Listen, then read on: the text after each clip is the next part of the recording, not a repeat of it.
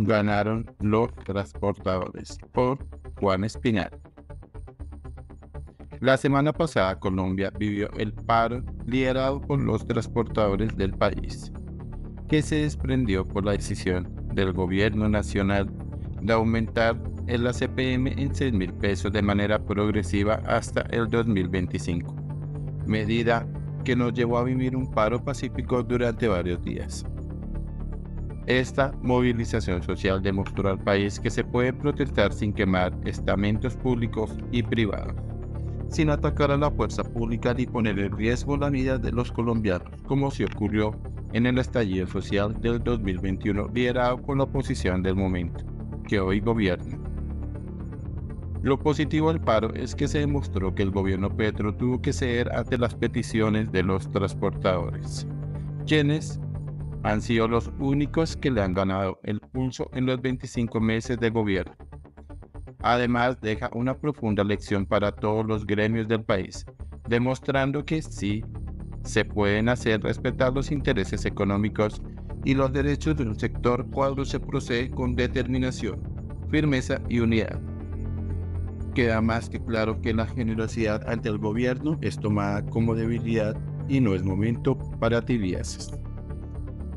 En el Congreso Nacional de la ANDI realizado en Medellín, escuché preocupaciones, reparos y críticas al gobierno. Ojalá actúen con determinación en el evento en el que se radique la reforma tributaria ante el Congreso de la República. Esta ley sería fatal para el bolsillo de los colombianos y para la economía del país. Colombia está por encima del gobierno Petro. Tenemos que estar más unidos que nunca.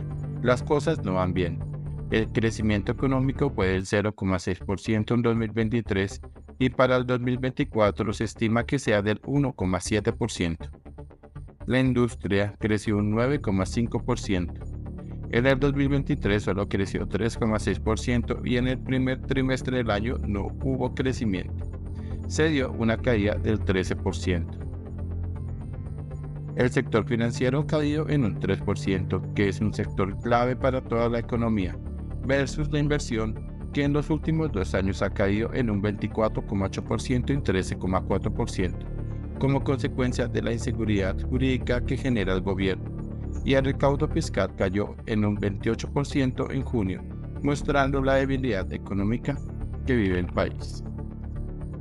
Lo único que ha crecido en el gobierno del cambio, pero en reversa, es el aumento de la deuda que fue del 103% en el primer trimestre de 2024 ganaron los transportadores y ellos son el mejor ejemplo para que todos los sectores estén unidos, para que no se arrodillen ante el gobierno, además para que estén atentos al comportamiento de cada uno de los senadores y representantes a la Cámara.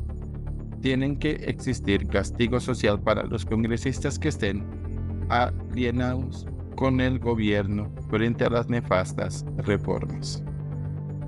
¿Cómo dejar de mencionar que esta semana se inicia la discusión de la reforma laboral en la Cámara Baja? Una iniciativa que está diseñada para poner en jaque a los sectores de la diversión, bares, discotecas, restaurantes y hoteles. Busca eliminar el contrato sindical, aumenta los días de vacaciones al sector de la seguridad sin argumento técnico y lo peor, una reforma que no busca generar más empleos, al contrario, de ser aprobada, se estima que puede generar la pérdida de más de 500.000 en el país. Por estas razones y con la lección del paro de los transportadores, el llamado es claro para todos los empresarios. Los necesitamos firmes, contundentes y unidos para defender los intereses económicos del país.